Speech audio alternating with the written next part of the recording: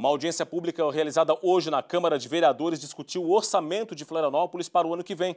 A Prefeitura estima para 2019 uma receita de mais de 2 bilhões de reais. É um dos assuntos mais importantes que a Câmara de Vereadores analisa durante um ano a Lei Orçamentária Anual. É ela que determina como a Prefeitura vai investir o dinheiro do contribuinte. A audiência é extremamente importante aqui para o município de Florianópolis, onde a Câmara ela vai estar podendo debater em que, qual o recurso que vai ser aplicado para determinadas áreas. Em Florianópolis não é diferente. A lei orçamentária anual já tramita na Câmara Municipal. A expectativa da Prefeitura é arrecadar em 2019 2 bilhões e 180 milhões de reais. O valor é maior do que o que foi de fato arrecadado neste ano, que deve fechar em 1 bilhão e 900 milhões de reais. O assunto foi debatido em audiência pública na Comissão de Orçamento da Câmara de Vereadores. Para a saúde, por exemplo, estão destinados gastos de 230 milhões de reais, o equivalente a 19% da arrecadação, acima dos 15% fixados pela Constituição.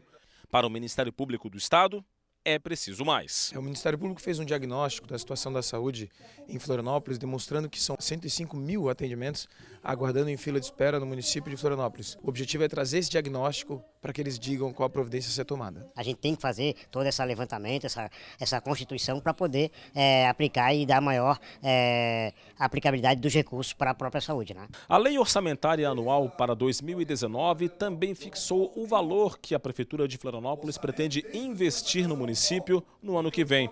Dos 2 bilhões e 180 milhões de reais que o Executivo Municipal prevê arrecadar em 2019, apenas 173 milhões de reais serão destinados para investimentos. A partir do momento que a prefeitura fizer isso, fazendo os seus cortes necessários dentro da máquina, mas buscando a eficiência dela e também melhorando a eficiência na arrecadação, aí sim nós vamos poder ter, ter e ver os investimentos na cidade inteira. O secretário da Fazenda, Constâncio Maciel, afirma que esta é a situação possível no momento. A previsão está cada vez mais perto da realidade.